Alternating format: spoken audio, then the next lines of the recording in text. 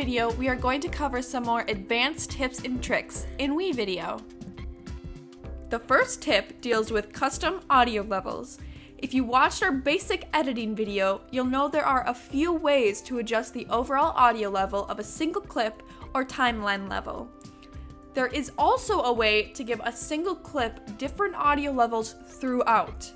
First, click on the clip you'd like to change the audio on. Notice this blue line. This is the audio level. There are two dots on each side of the clip. You can click and drag these to make a gradual fade in the audio. Click anywhere along the blue line and it will create another dot to adjust the audio. Double click this dot to get rid of it. This is really useful when having background music throughout a whole clip, kind of like this video. Just like you can customize audio levels throughout a single clip, you can control different fade or opacity levels in an image or video. The only difference here is the line representing the opacity of an image is green instead of blue. To view this line, click this icon. You can check fade to have WeVideo automatically put a fade in and out of clip. While there is a crossfade transition you can put between clips, being able to customize opacity can be really useful specifically for graphics.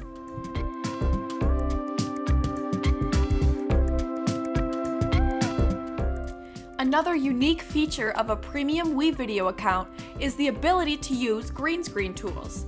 To access this, edit the clip that includes the green screen.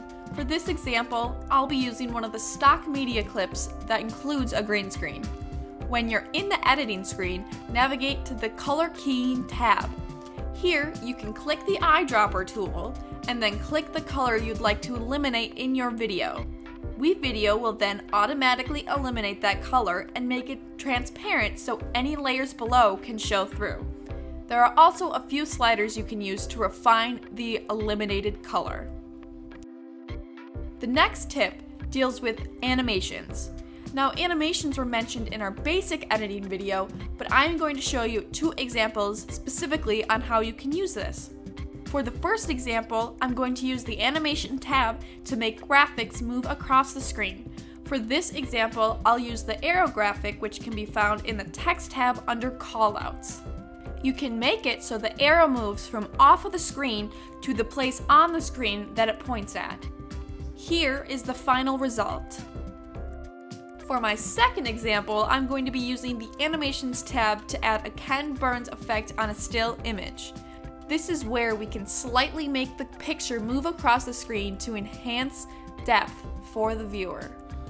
You can change the start or end of an image by increasing the scale slightly. You can even drag it slightly off center if you want to. Here, we'll increase the scale of the image at the start of the animation, but leave the end animation untouched. Here you can see the final product that gives the image a nice effect of slowly zooming out of the picture. Now those are just a few tips and tricks for WeVideo. If you have any additional questions on what was covered in this video, make a TechBar appointment at techbar.knight.domains. Remember to check out our other videos on WeVideo linked in the description below.